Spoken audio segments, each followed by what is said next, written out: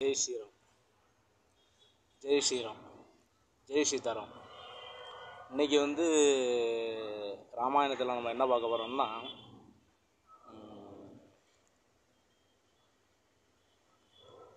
ராமரும் சீதையும் வனவாசத்தில் இருக்கும்போது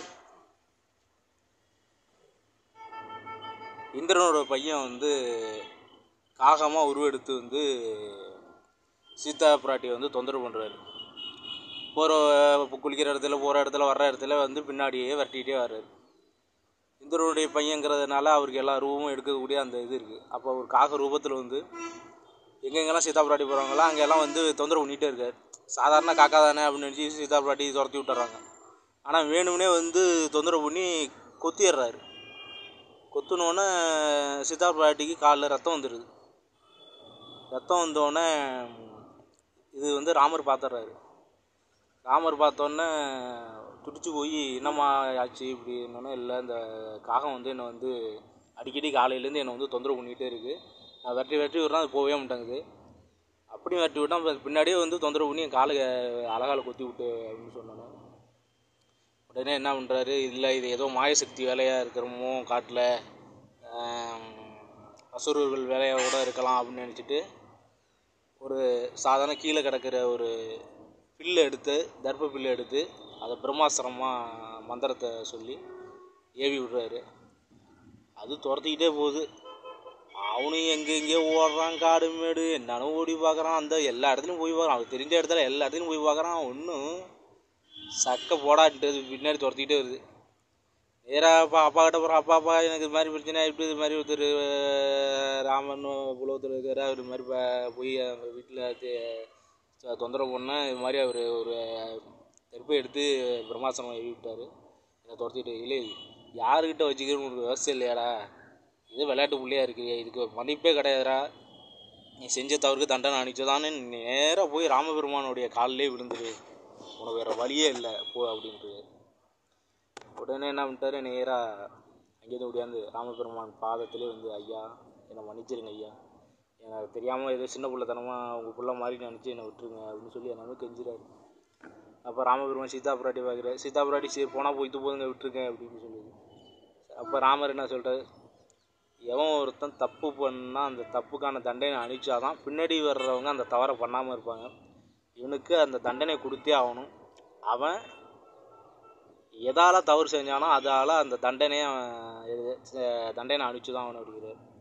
அவன் என்ன பண்ணியிருந்தான்? சீதா பிராட்டியை வந்து தவறான எண்ணத்தில் பார்த்தான்ல. அப்போ ஒரு அடுத்த வீட்டு பெண்ணை வந்து தவறான எண்ணத்தோடு பார்த்ததே மிகப்பெரிய தப்பு. அந்த தவறான எண்ணம் பார்க்குறதுக்கு மனசு தூண்டியிருக்கு கண்ணு பார்த்துருக்கு.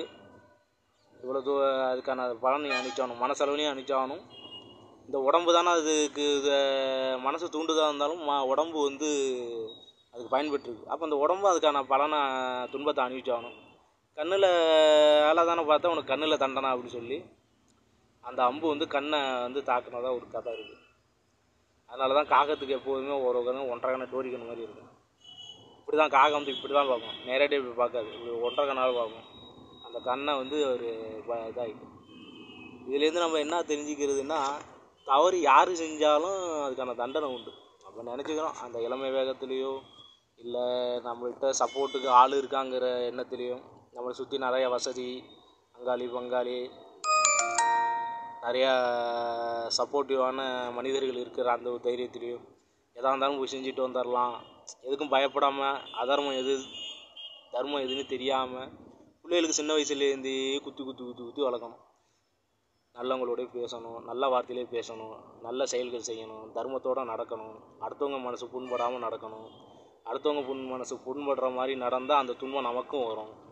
வாயால் தவறு செஞ்சால் வாயில் தண்டனை. இது நிறைய கருட புராணத்திலே இதெல்லாம் இருக்குது ஆனால் இப்போ இந்த கலிகால அதெல்லாம் அந்த கருட புராணங்கிறது வந்து அந்த காலத்தில் ஏற்றி வச்சுது. ஆனால் இப்போ எல்லாம் வந்து நம்ம எந்தெந்த உறுப்புகளால் தவறு செய்கிறோமோ அதே உறுப்புகளில் பின்னாடி வர சந்தேகம் அதுக்கான தண்டனை இருக்குது நான் நெருக்கி ஒரு நூறு ஃபேமிலி வந்து ரிசர்ச் பண்ணியிருப்பேன் நான் பாண்டிச்சேரியில் வேலை பார்க்கும்போது ஒரு எட்டு மணி நேரம் தான் எனக்கு வேலை. அந்த வேலை முடிஞ்சதுக்கப்புறம் ஒவ்வொருடைய பழகக்கூடிய ஒவ்வொரு மனிதர்களுடைய அவங்களுடைய பல வழக்க வழக்கங்கள் அவங்க அப்பா அவங்க தாத்தா இவங்களையெல்லாம் ஒரு ரிசர்ச் மாதிரியே பண்ணி பார்த்துருக்கேன் அது நான் அனுபவபூர்வமாக உள்ள அவங்க வீட்டுக்குள்ளே இறங்கி அவங்க யார் அவங்க தாத்தா எப்படி இருந்தால் வாழ்ந்தாங்க அவங்க எப்படி வாழ்ந்தாங்க அப்பா வீட்டு சைடு எப்படி வாழ்ந்துருக்குறாங்க அம்மா வீட்டு சைடு எப்படி வாழ்ந்துருக்குறாங்க அவங்க ரெண்டு பேருக்குள்ளே பொண்ணு கொடுத்து வாழ்ந்தும்போது இதில் பாவம் உள்ள பாவ புண்ணியங்களையும் அவங்களுடைய பாவ புண்ணியங்கள்லாம் சேர்ந்து எவ்வளோ ரிஃப்ளெக்டில் ரிஃப்ளெக்ட் ஆகி அடுத்து எந்த சந்ததியினர் பிறந்திருக்கிறாங்க? அவங்க அதுக்கான எப்படியான பலன்லாம் அனுப்பிக்கிறாங்கன்னு ஒரு ரிசர்ச்சு நிறையா பண்ணி பார்த்துருக்கேன். அதில் தெரிஞ்சுக்கிட்டது என்னன்னா இதுதான் இதான். என்னன்னா என்ன பதிவு? பதிவுன்னா அந்த பிரபஞ்சத்தில் வந்து இரவில் செய்கிறத இரவு பதிவு பண்ணிக்கும் பகலில் செய்கிறத பகல் பதிவு பண்ணிக்கும். அதாவது இதை வந்து வானவியல் வல்லுநர்கள் என்ன சொல்கிறாங்கன்னா இரவை வந்து ராகாவும் மகளை வந்து கேதுவாகவும் பதிவு பண்ணியிருக்காங்க. இதெல்லாம் பதிவு பண்ணி கொண்டுட்டு போய் மற்ற கிரகங்கள்கிட்ட ஒப்படைச்சிருவாங்க. இந்த ராகுவும் கேதுவும் நம்ம நைட்டில் நினச்சிட்டு இருக்கோம் நம்ம யாருக்கும் தெரியாமல் தவறு செஞ்சிட்டோம் இந்த மாதிரி பண்ணிட்டோம் அப்படின்னு நினைக்கிறோம். அதேமாதிரி பகலில் தெரிஞ்ச சில சில தவறுகளை நம்ம செய்வோம் அதர்ச்சியில் இதெல்லாம் செய்வோம். இது ரெண்டுமே இந்த பிரபஞ்சத்தில் வந்து இரவும் பகலும் பதிவு பண்ணிக்கிட்டே வந்துட்டு இருக்கோம். அதாவது மேக்னெட்டிக் பவர்னு பேர். காந்த அலைகள். எலக்ட்ரான்கள் நியூட்ரான்கள் புரோட்டான்கள் இதெல்லாம் அந்த கே கிரேவிட்டியில் இருக்கிறதுனால இதெல்லாம் பதிவு பண்ணிக்கிட்டே இருக்கும். பதிவாகி பதிவாகி என்ன ஆகும்னா அடுத்த ஸ்டேஜுக்கு அதை கொண்டுட்டு போயிடும் கொண்டுட்டு போய் சனி கிரகம் அது மாதிரி கிரக ஒம்பது கிரகங்கள் இருக்குல்ல அந்த ஒம்பது கிரகங்கள்கிட்ட ஒவ்வொரு கிரகங்கள்கிட்ட என்னென்ன பதிவோட இப்போ எப்படி கணக்கு போடுறோம்? சீக்வல்ட்டி ஈவு மீதி ஈவு இதெல்லாம் வந்து கணக்கு கரெக்டாக வருதா இல்லையா? அந்த கணக்கில் வந்து பார்த்தோம்னா மேலே ப்ராக்கெட்டில் போடுறோம் வகுக்கிறோம். வகுத்து கீழே கணக்கு வந்துக்கிட்டே இருக்குது அதில் மீதி ஈவு. மீதி எவ்வளோது இருக்குது ஈவு எது இருக்குது கீழே ரிசல்ட் என்ன? கடைசியில் கணக்கு கரெக்டாக முடிஞ்சிச்சுன்னா ஃபார்முலா கரெக்டாக இருக்குன்னு அர்த்தம். எங்கேயாச்சும் குளறுபடி ஆனிச்சுன்னா ஃபார்முலா எதோ இடையில எதோ சைடு அடிச்சிருக்குன்னு அர்த்தம். அப்போ என்னன்னா இதே மாதிரி தான் நம்ம இப்போ ஒரு இடத்துல பொண்ணு கட்டுறாங்க. ஒரு மாப்பிள்ளை பார்க்குறாங்க ஒரு பொண்ணு பார்க்குறாங்க அவங்க அப்பா அம்மா செஞ்ச புண்ணியங்கள்லாம் அந்த பொண்ணுக்கிட்ட இருக்கும். இந்த பையனுக்கு அப்பா அம்மா செஞ்ச புண்ணியங்கள்லாம் இந்த பொண்ணுக்கிட்ட இருக்கும். இந்த பையன்கிட்ட இருக்கும். இவங்க ரெண்டு பேரும் வாழ்க்கையில் இணையும் போது இவங்க சே எல்லாம் சேர்ந்து இவங்க அடுத்து என்னென்னலாம் செய்ய அதுக்கப்புறம் இவங்களோட முடிவு எடுக்கிற முடிவு தான் அதுக்கப்புறம் இவங்க அந்த கடந்து வந்த பாதையில் என்னென்னலாம் செஞ்சுருக்குறாங்க. அது வரைக்கும் உள்ளதெல்லாம் சேர்த்து வரவு செலவெல்லாம் பார்த்து தான் அந்த வ- பிறக்கக்கூடிய அந்த குழந்தைகள்.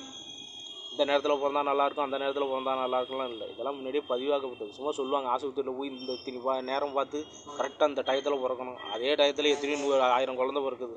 ராமர் பிறந்த நேரத்தில் ஆயிரம் குழந்தை வந்துச்சு. அதுக்காக எல்லாரும் ராமர் மாதிரி ஆகலை. அதாவது அவங்கவுங்க செஞ்ச விலைக்கு தகுந்த மாதிரி அந்த குலத்தில் வந்து அவதரிப்பாங்க.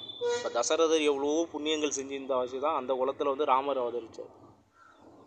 அப்படி அவதரித்து இந்த தவறுகள்லாம் நம்ம பிள்ளைங்களுக்கு நம்ம செய்கிறது நம்ம என்னென்ன பதிவு பண்ணி வச்சுருக்கோமோ அதெல்லாம் நமக்கு பிள்ளைங்களுக்கு வந்து அப்படியே ரிஃப்ளெக்ட் ஆகும். தாய் எட்டு அடி பாஞ்சா குட்டி பதினாறு அடி பாயும்பாங்க. ஆடு தின்னதாலேயே குட்டி திங்கும்பாங்க. இப்போ எப்படின்னா நம்ம என்ன பதிவு பண்ணி வச்சுருக்கோங்கிறத எப்படி தெரிஞ்சுக்கணும் நம்ம அப்படியே யோசிச்சு பார்க்கணும். நைட்டு படுக்கும்போது காலையிலேருந்து என்னென்ன செஞ்சோம் நைட்டு வரைக்கும். இன்றைக்கி எத்தனை பேர் மனசு நோக்கடிச்சோம் எத்தனை பேருக்கு நல்லது செஞ்சோம் அப்படின்னு பார்த்தா நிறையா கெட்டதான் செஞ்சுருவோம் நல்லதே பதிவு இருக்காது. ஆனால் இதை ஒவ்வொரு நாளாக கரெக்ஷன் பண்ணி கரெக்ஷன் பண்ணி ஜீரோ கொண்டு வந்துடலாம் ஒவ்வொரு நாளும் யார் மனுஷன் புண்படாமல் பார்த்துக்கணும். அடுத்தவங்கள சந்தோஷமாக வச்சுக்கணும். அடுத்தவங்க துன்பப்படாத மனசு துன்பப்படாமல் வாழ்ந்துட்டு நம்மளும் அதில் சம்பாதிச்சுக்கிட்டு அடுத்தவங்களுக்கு நம்மளால் முடிஞ்ச அளவுக்கு நமக்கு சேமிப்பு பண்ணிக்கிட்டு அதில் ஒரு ரெண்டு காசை எடுத்து தானமோ தரமோ பண்ணிக்கிட்டு நம்ம வாழ்க்கையை எளிமையாக வாழ கற்றுக்கிட்டாலே நம்ம யார்ட்டையும் போய் நிற்க தேவையில்ல. அதாவது பொய் சொல்லணும் திருடணும்னாலே அதிகமாக ஆசைப்பட்டால் தான் இந்த பொய் சொல்கிறது திருடுறதெல்லாம் பழக்கம்லாம் வரும். நம்ம அதிகமாக ஆசைப்படாமல் நம்மகிட்ட என்ன இருக்குது அதை கொண்டு வரவு செலவு பண்ண கற்றுக்கிட்டோம்னாலே நம்ம யார்ட்டையும் போய் நிற்கும் தேவையில்ல. தைரியமாக கெத்தாக வாழலாம். இப்போ இந்த நல்ல விஷயங்கள் நம்மள்கிட்ட இந்த பிள்ளைங்கள் பிறக்கும் போது ச அந்த காலத்தில் கர்ப்பவதியாக இருக்கும்போது இந்த பிள்ளைங்க கர்ப்பவதியாக ஒம்பது மாதம் வரைக்கும் உபநயம்லாம் நிறைய பண்ணுவாங்க. மகாபாரதம் படிப்பாங்க நாலாயிரம் திவ்ய பிரந்தம் படிப்பாங்க கம்பாடாள் கம்பாடா கம்மநாடால் வர ராமாயணத்தை சொல்லி கொடுப்பாங்க. எல்லாத்தையும் சொல்லி சொல்லி சொல்லி அந்த பிள்ளைய கருவிலே வந்து ஒரு தூய்மையான கருவாக வெளியில் வரணும் அப்படிம்பாங்க. அப்போ தூய்மையான கருவாக வரும் மட்டும் மட்டும் இல்லாமல் அதுக்கு முன்னோர்களும் கொஞ்சம் பதிவு இருக்கணும். அதுக்கான நல்ல பதிவு இருக்கணும். அது இருந்தால் தான் அந்த குழந்தைகளுக்கு அந்த பதிவு கிடைக்கும். இதுக்காக தான் இந்த இந்த பாவ புண்ணியங்கள்லாம் சேர்ந்து அதாவது இந்திரனுக்கு பிறந்த அந்த பையன் இந்த மாதிரி யோசிச்சதுனால அவருக்கு இந்த தண்டனை வந்துச்சு.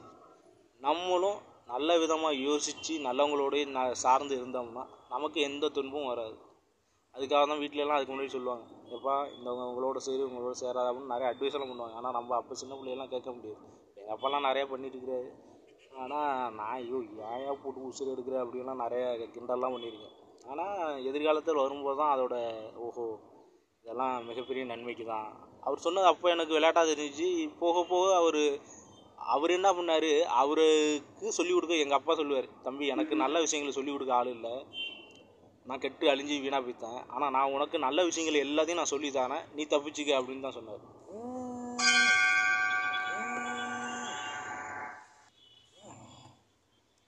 அப்போ தான் நான் முடிவு பண்ணேன். சரி. இப்போ எனக்கு முன்னாடி பத்து பேர் நிற்கிறாங்க ஒருத்தனை ஒருத்தன் உதைக்கிறான் இன்னொருத்தன் ஒருத்தன் உதைக்கிறான் இன்னொருத்தன் இன்னொருத்தன் உதைக்கிறான். இப்போ என்ன ஒருத்தன் உதைக்கிறான்? நானும் இன்னொருத்தனை உதைச்சாகணும். அப்போ நான் என்ன பண்ணேன்? சரி இந்த உதை இதுக்கப்புறம் யாரும் உதைக்காமல் இருக்கணும்னா நான் ஸ்டாப் பண்ணணும். நான் ஸ்டாப் பண்ணணும்னா நான் அவன் செஞ்ச தவிர நானும் செஞ்சேன்னா அது அப்படி போயிட்டே தான் இருக்கும். ஆனால் பின்னாடி உள்ளவன் செஞ்ச தவிர நான் என்ன பண்ணிட்டு தாங்கிட்டு அப்படியே நிற்கிறேன் ராமா அப்படின்ட்டு நிற்கிறேன் இப்போ நான் அதை செய்யலாம் தவிர இப்போ எனக்கு முன்னாடி உள்ளவன் அவன் பாட்டும் போயிட்டே இருப்பான். என்ன மாதிரி அவனும் போய் இன்னொருத்தனை உதைக்க மாட்டான். இப்படி தான் சில விஷயங்களை கொஞ்சம் கொஞ்சமாக கரெக்ஷன் பண்ணி கரெக்ஷன் பண்ணி ஜீரோ கொண்டு வரணும்.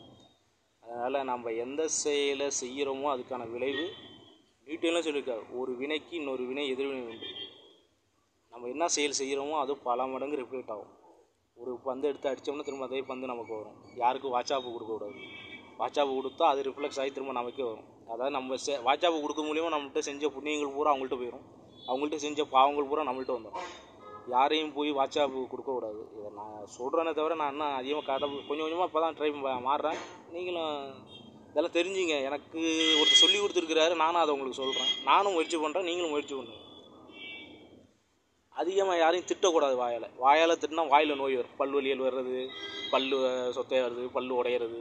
இதெல்லாம் பார்த்திங்கன்னா வாயால் செய்கிற தண்டனை.